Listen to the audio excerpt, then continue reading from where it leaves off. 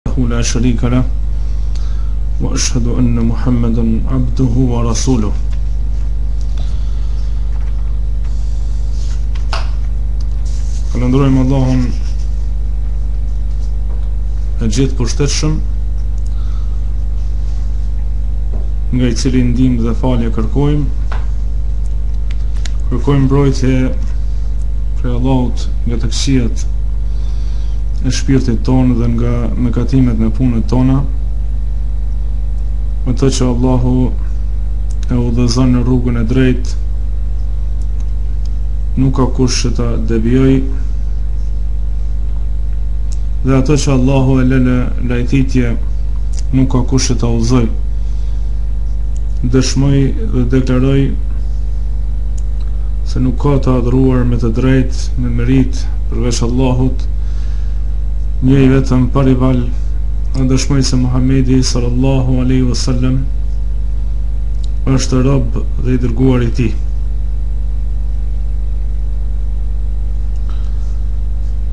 jemi duke sqaruar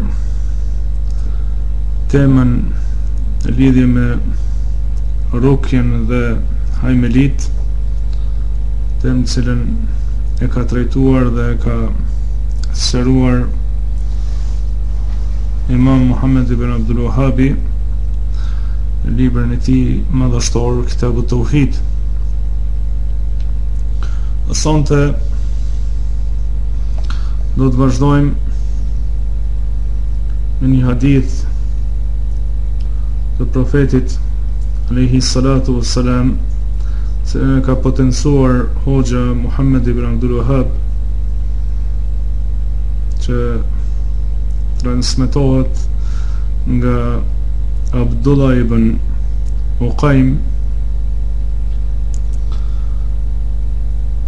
ku përmendet hadithi me tekstin men ta'allaqa shay'an wukila ilayhi kush var diçka lihet në dorën e saj. Sa i përket Abdullah ibn Uqaymit, ky person e ka arritur Rasulullahin alayhi salatu wassalam, porse nuk është vërtetuar se ky ka dëgjuar diç nga profeti alayhi salatu wassalam dhe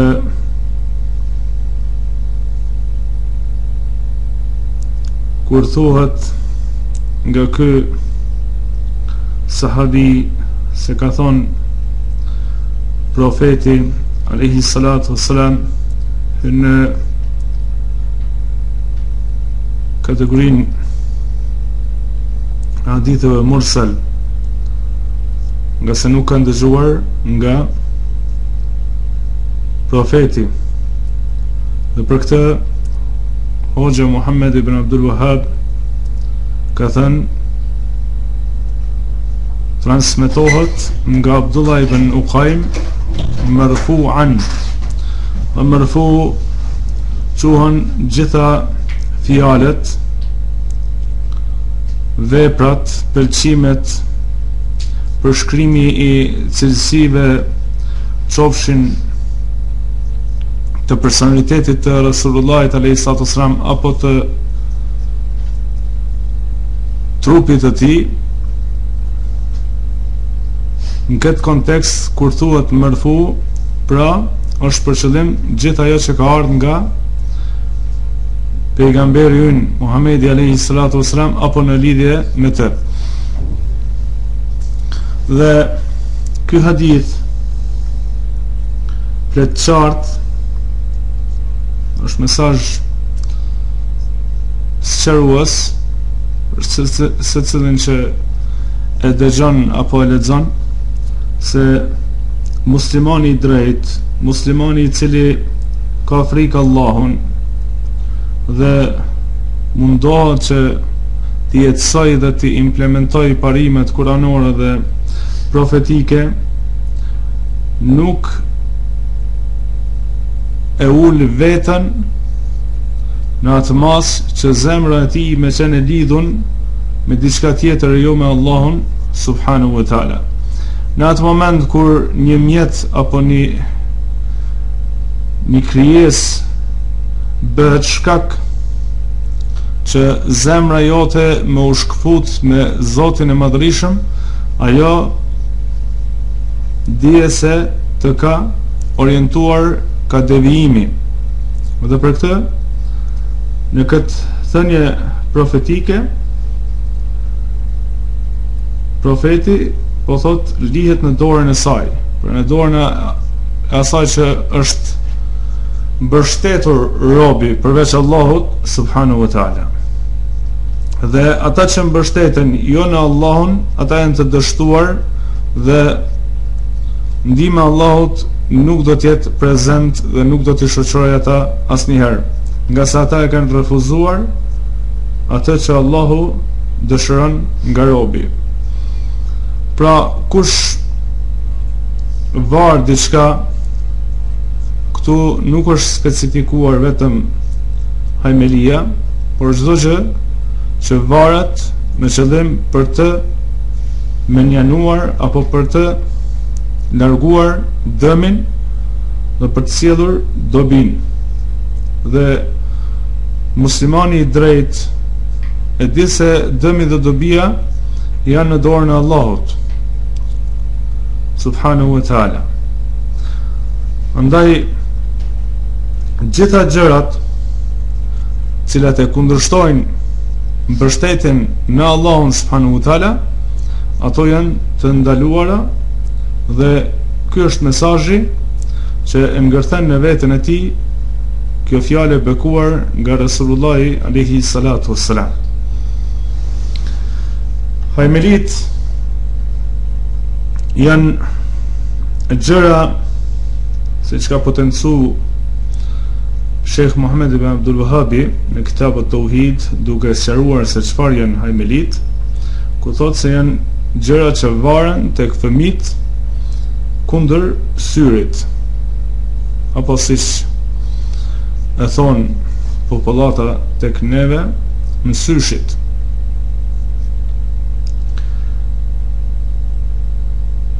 Mirëpo, thotë Sheikh Muhammed ibn Abdul Wahhab, nëse janë prej Kur'anit, pra hajmelitë, nëse janë që në to ka ajete Kur'anore, disa nga të parët tanë, pra nga Selefi, prej dijetarëve të moçëm, e kanë lehtësuar këtë gjë,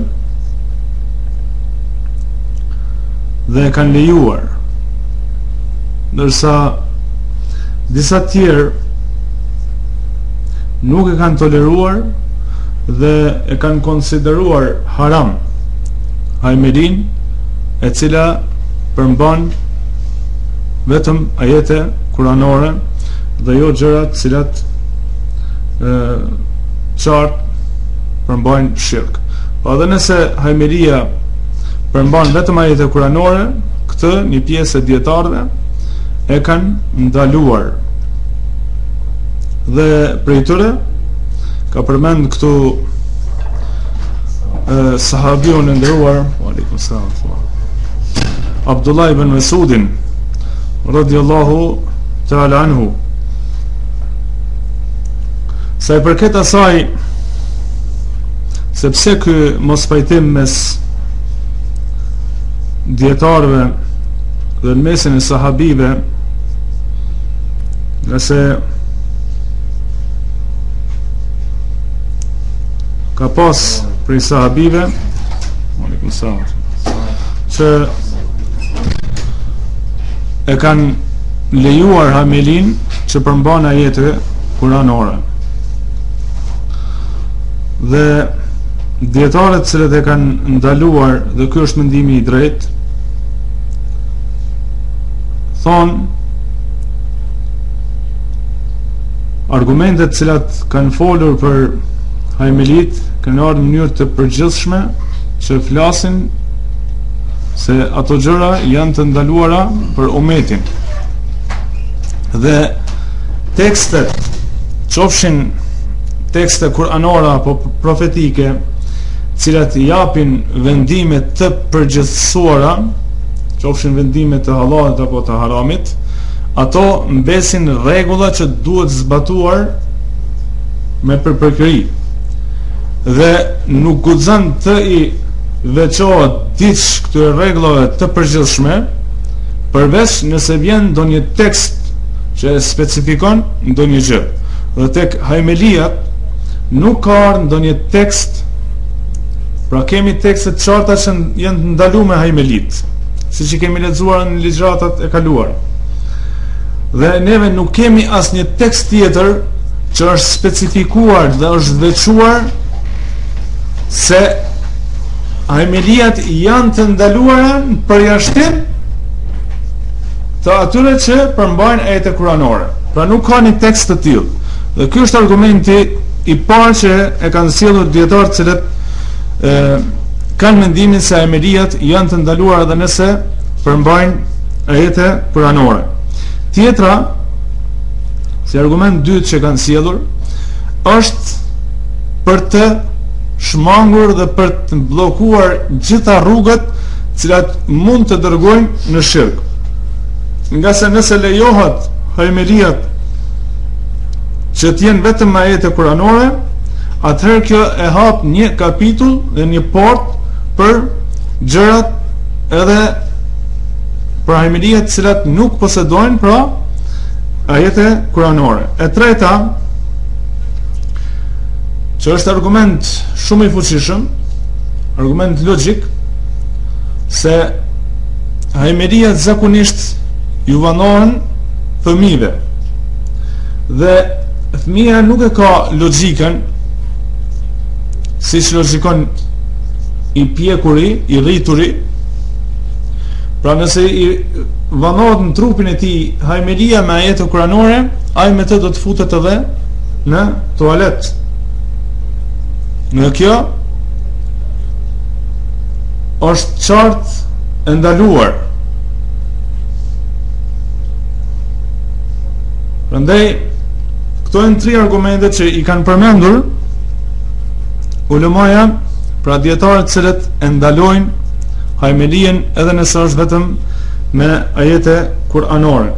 Sa i përket kushteve të dijetarëve të cilët e lejojnë hajmelinë me ajete kuranore, kushti i parë kanë thonë që duhet të jetë hajmelia vetëm me ajete kuranore dhe të mos përmbajë diç tjetër.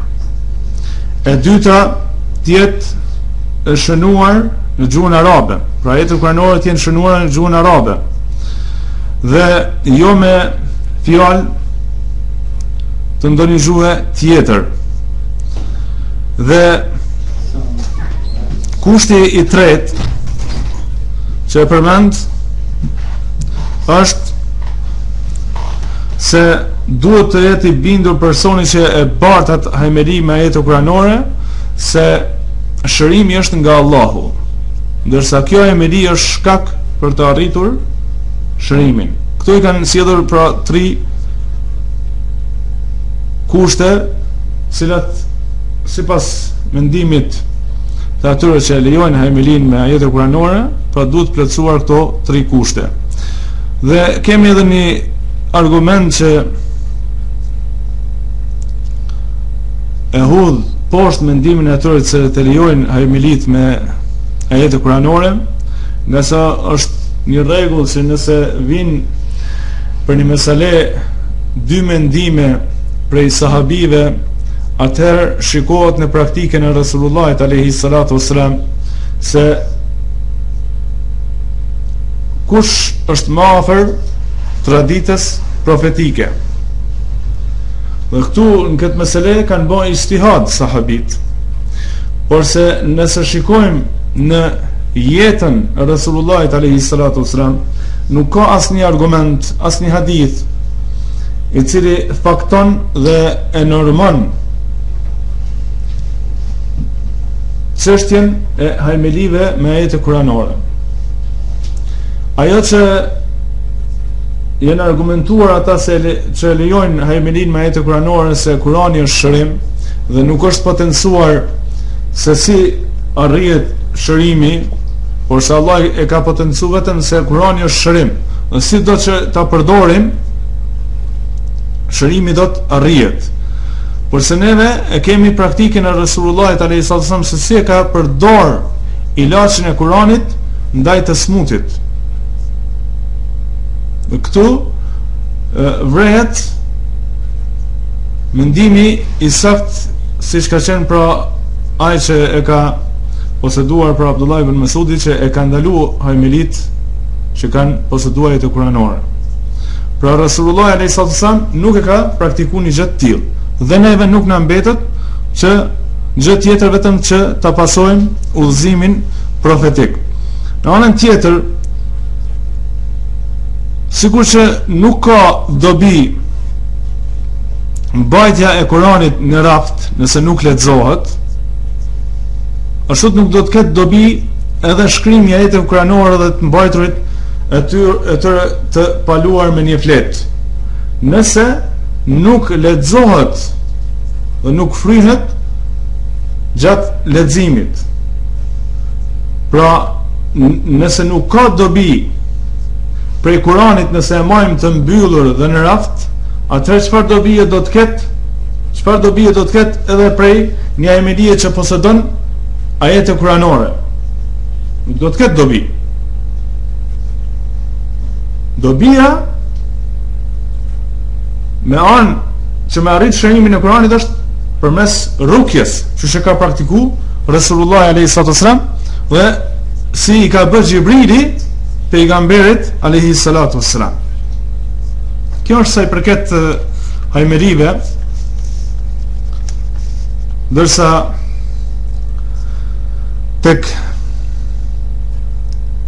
Nuskat janë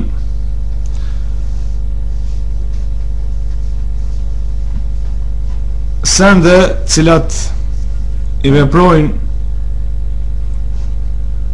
gratë për të, për të arritur dashurinë e burrit apo anasjelltas.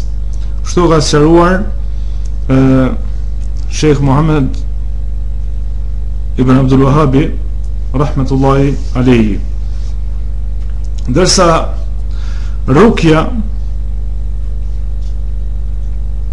Neve kemi thënë edhe në ligjeratën e kaluar Se rukja e cila bëhet Me kuran dhe hadith Në ato dua që janë potencuar në hadithet e sakta Sipas metodës që na ka msu Resulullahi Alehi Salatu Wasallam Kjo është e legjitimuar dhe çdo formë tjetër është e ndaluar.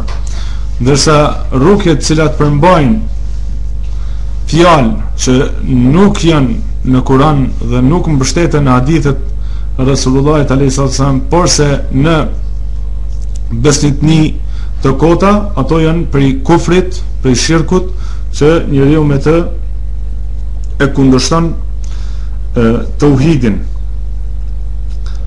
Sheikh Muhammed ibn Abdul Wahhab rahmetullahi alayhi ka sjellur një hadith nga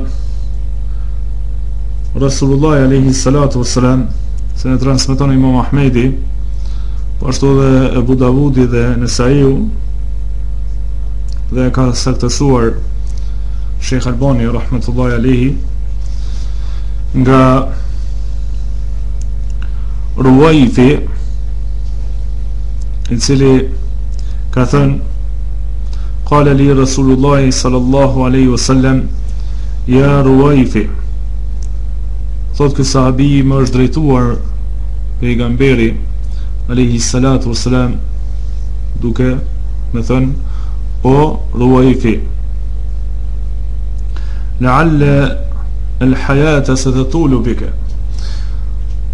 ndoshta ti do të jetosh gjatë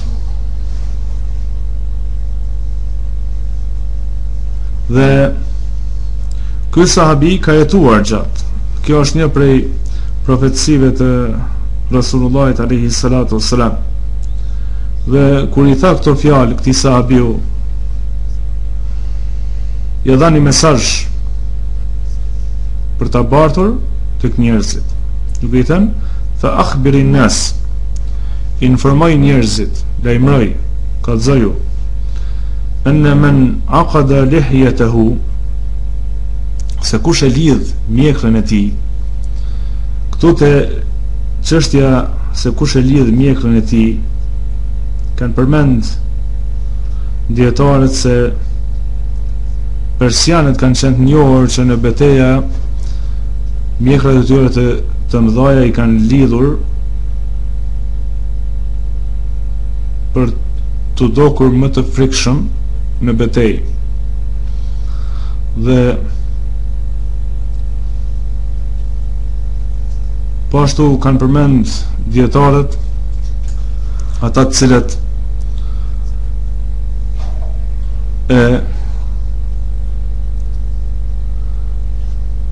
zbukurojnë për së tepërmi mjekrën siç ndodh heqja e një pjese të saj dhe lënia e një pjese tjetër të mjekrës pra i kanë përmend to dy mendime dijetarët sa i përket fjalës së pejgamberit sallallahu alaihi wasallam kush e lidh mjekrën e tij dhe vazhdon prap eu tekallede vataran ose bën gjerdan siç i kemi përmendur në ligjëratën e kaluar gjerdanat që i kanë vënë mbi deve dhe mbi kafshë për të sjellur bereqet au istanja bi raj'i dabbatin au 'azmin apo ata të cilët nga jashtëqitja pastrohen me baglat e kafshëve apo me kocka me ashta fe inne muhammeden beriun minhu tregoji se kush i bën këto gjëra muhammedi është larg tyre disa nga komentuesit e sqarojnë Fjalën e fundit në këtë hadith, fe inne Muhammeden beriun minhu, tregoji se Muhamedi është larg tyre, me fjalën tregoji se Muhamedi është larg veprimit të tyre. Por nuk mjafton vetëm kjo. Nuk është ky koment e që e përmbledh tekstin e qartë të hadithit. Hadithi po tregon nga fjala e profetit se Resulullah sallallahu alaihi wasallam Është larg personit që ka bërë atë vepër. Dhe këtu normal se njeriu së pari para se me marr qëndrimin tek një person i cili e shfaq të keqen, duhet së pari që të jetë i distancuar prej të keqes. Në realitet besimtari është i distancuar prej të keqes pa u vepruar prej ndonjë personi. Prandaj qëllimi në hadith është Resulullahi alejhi selatu selam është i distancuar prej personit që ka vepruar të keqen. Dhe kur jemi te pastrimi nga jashtëqitja, këtu sa për dobi, është ndaluar pra me baglat dhe me kockat pastrimi nga jashtëqitja. Ndërsa, Me gjëra të tjera është e lejuar. Dhe kanë përmendur dijetarët e shkencës së fikhut se nëse personi e bashkon gurin dhe ujin, kjo është më mirë sesa të pastrohet vetëm me ujë. Dhe sot ë përdoren letrat Dhe kjo është më mirë për individin që të përdorë letrën në fillim për të larguar fëlliqësinë, që mos të preket dora direkt me fëlliqësinë, dhe pastaj pastrohet me ujë dhe në fund prap me letër.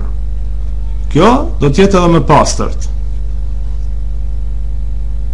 Ne e thamë që mjafton vetëm njëra Por nëse bashkohen dyjat është më mirë.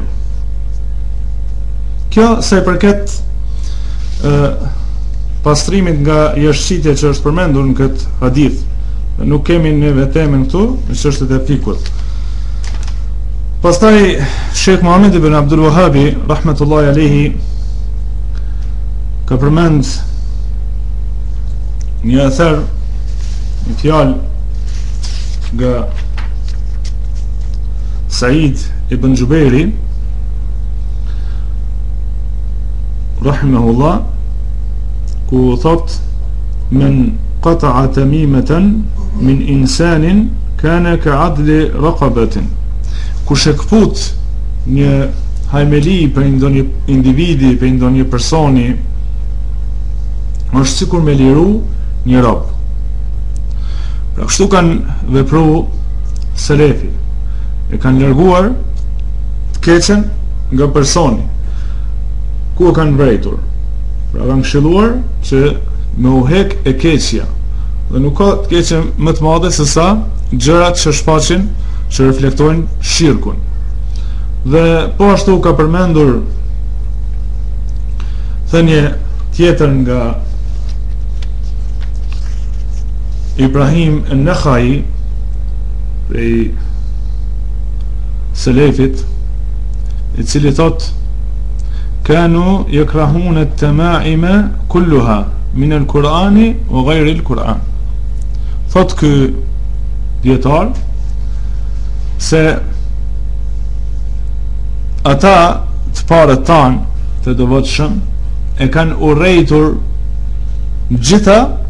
Llojet e hajmelive, qofshin ato me Kur'an apo jo me Kur'an. Pra qofshin hajmeli që kanë përmbajt ajete kuranore, apo hajmeli që nuk kanë përmbajt ajete kuranore, gjitha kanë qenë të urryera nga e, Selefi. Dhe dihet mirëfilli se në terminologjinë e fikhut, Kur të përmendet e urrejtura te të parët tanë, aludohet në haram, dhe jo në e, nocionin mekruh siç kuptohet tek medhhebi hanefi si gjë e urry, urryer që nuk e arrin e, gradën e haramit. Prandaj me këto argumente që i ka përmend Sheikh Muhammed Ibn Abdul Wahhabi rahmetullahi alejhi, Kuptohet qartë se hajmeliat janë të ndaluara në Islam dhe nuk i takojnë kulturës, moralit, bindjeve të besimtarit të drejtë. Lusim Zotin e Madhërishëm që të na ruajë besimin nga besëtnitë e kota, na orientojë në rrugën e drejtë, na forcojë personalitetin tonë mbi parime të pastërta islame, t'i mbrojë muslimanët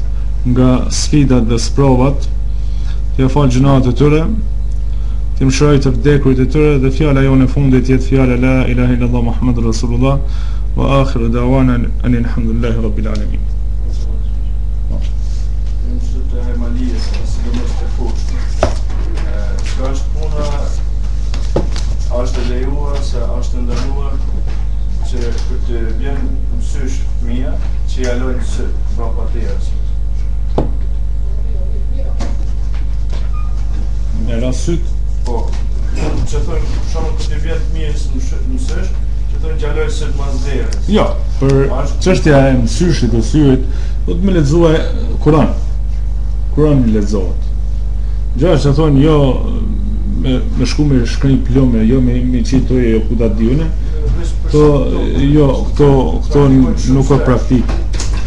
Po, është qëllimi të kjo që me Kur'an ose me hadithe që kanë ardhur nga Resulullah alayhi salatu wasalam. Konsiderohet shirk po? Ëh, varet personi se si e bën. Neve e kemi sqaruar në ligjëratën e kaluar këtë.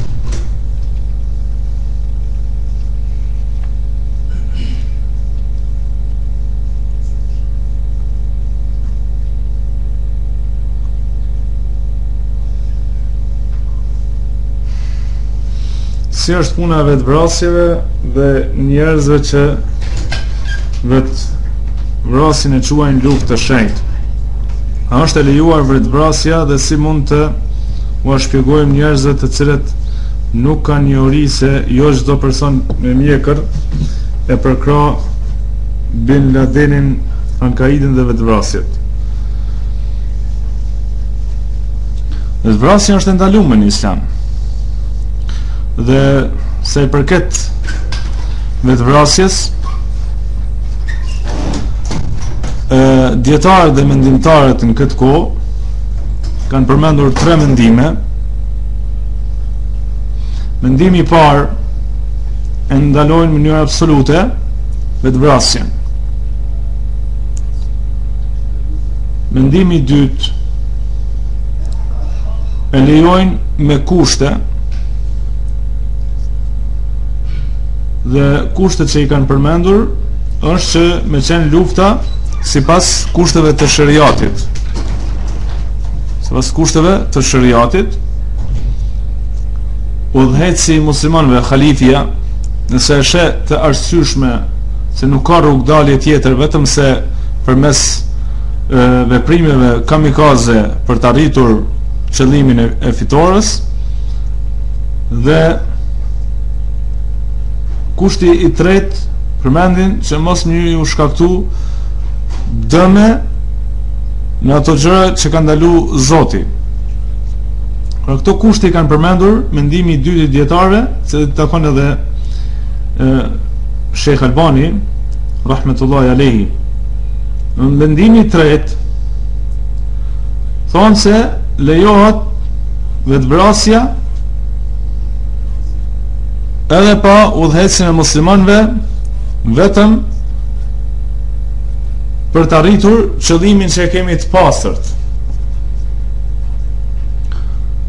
dhe lejohet të shkaktohen edhe dëme, sa që kemi ndëgjuar deklarata, edhe nëse i mbysim fëmijët, i shpëtojmë, prej kufrit edhe i çojmë n'xhenet.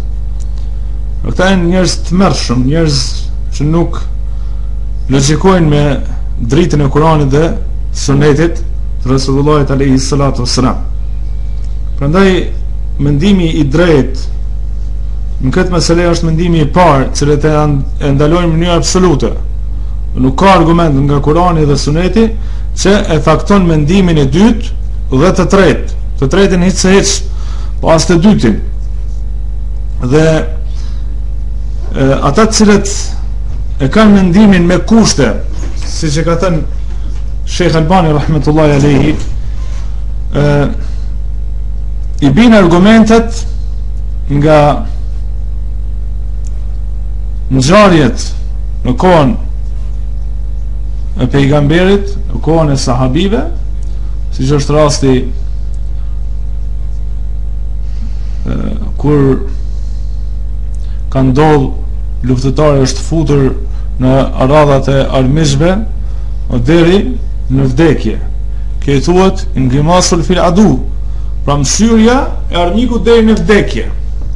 Apo siç ka qenë rasti, i sahabiut që e kanë hudhur me katapult për të hapër portat e kështjelës së armikut. Dhe normal për të hedhur me katapult mbrenda në kështjelën e armikut, 99% do t'jesh i vdekur. 1% do t'jesh i shpëtuar. Dhe me këto argumente janë mundu me e faktu mendimin se lejohet vetëvrasja me kushte. Por se neve kemi dallim të qartë mes argumentit dhe të argumentuarit. Argumenti flet mësyrje e armikut deri në vdekje. Ky person i cili e ka mësy armikun deri në vdekje, a vdes me armën e tij apo me armën e armikut? Normal, me armën e armikut. Ndërsa këta që bëjnë vetëvrasje, sulme kamikaze, apo vdesin me armën e armikut a me armën e vet. Pra që në start e kemi dallimin mes argumentit dhe të argumentuarit. E këtu bjen poshtë mendimi i dytë dhe mendimi i drejtë është siç thashë mendimi i parë. Prandaj për t'u kthyer edhe pyetjes Pjesës së dytë të pyetjes se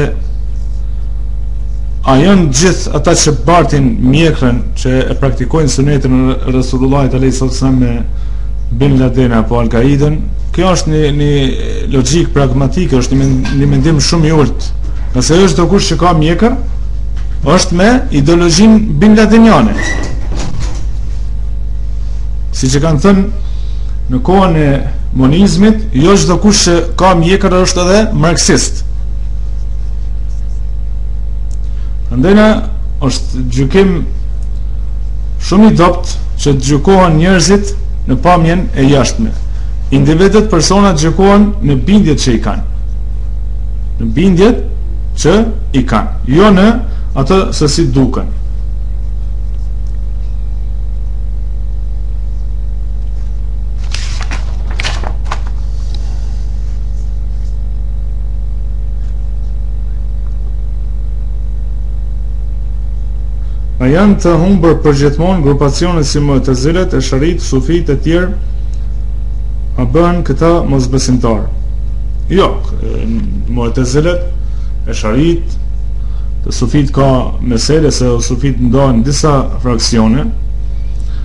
Mu'tezilet e Esh'aritë, kërkush nuk ka quajtur mos besimtar.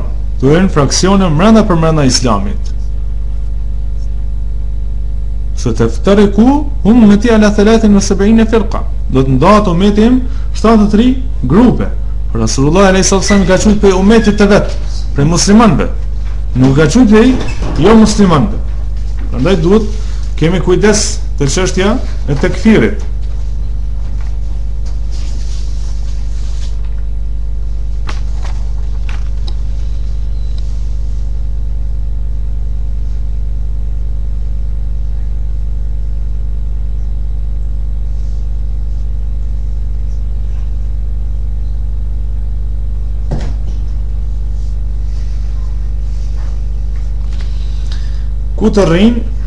Si të veprojë një motër muslimane që jeton tek baba dhe kur vijnë musafirë apo edhe të familjes që lejohet martesa me ta sepse nëse nuk rri aty dalin probleme dhe mendojnë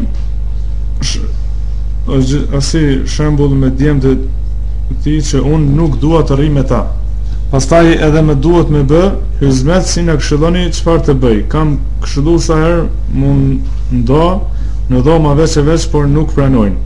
A kam unë haram të rrij aty dhe të bëj hyzmet edhe pse largohem ndonjëherë nga aty? Nuk është e ndalume me të afërmit e familjes, me musafirët që vijnë, nëse vishet me hixhab dhe i plotëson kushtet e sheriatit. Me bë hyzmet, me i shërby me me gjëra që shërbehen, nuk ka kurrgjë të keqe. Në atë moment që ka ndonjë laf që nuk i takon seriozitetit, atëherë e lën atë dhomë, del në dhomë tjetër, normal duke mos polemizuar dhe debatuar ngase njerëzit nuk i kuptojnë këto mesele. Ata kanë nevojë për t'i tregu për Islamin dhe jo për këto mesele që për ta janë të paimagjinueshme. Prandaj, këshilla që të jetë